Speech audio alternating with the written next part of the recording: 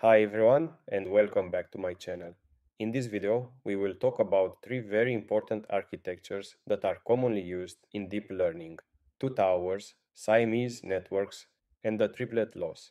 These architectures play crucial roles in various applications and are used in general to compute the similarity between two inputs.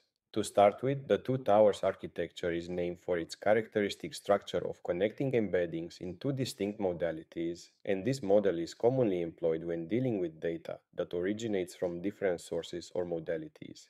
For instance, in image retrieval applications, it is necessary to combine visual and textual information seamlessly.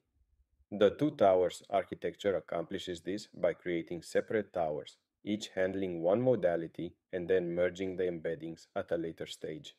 The strength of the two towers model lies in its ability to capture complex relationships between diverse types of data, like textual and visual data, and by leveraging separate towers, it allows the network to specialize in extracting features specific to each modality before fusing them together. This can result in a more robust representation of the overall data, providing a nuanced understanding that may be challenging to achieve with a single monolithic network.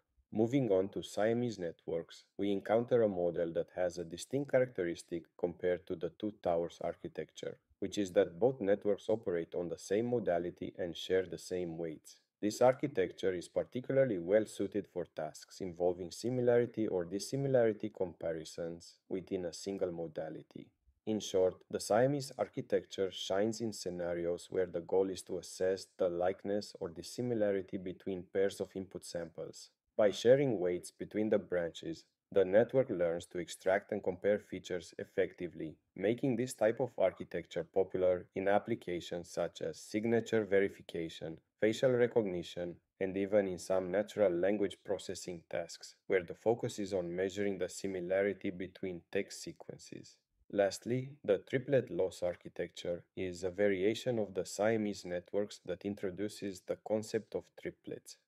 Three instances of data, a positive anchor, a negative anchor, and a reference anchor.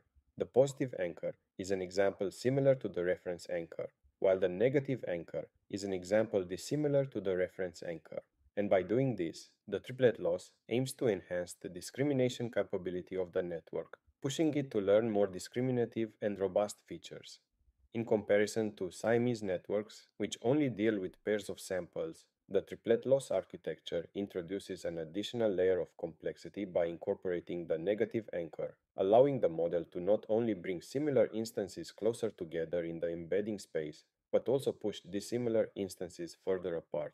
This makes the triplet loss architecture particularly effective in tasks such as face recognition, where distinguishing between very similar faces is crucial. And that's basically it, folks. These three deep learning architectures Two towers, Siamese networks, and triplet loss offer unique solutions to different challenges in the realm of machine learning for computing, the similarity between inputs. Thanks for watching. Please hit the like button if you enjoyed this explanation and don't forget to subscribe if you want to stay up to date with the content I create on this channel. See you next time. Bye bye.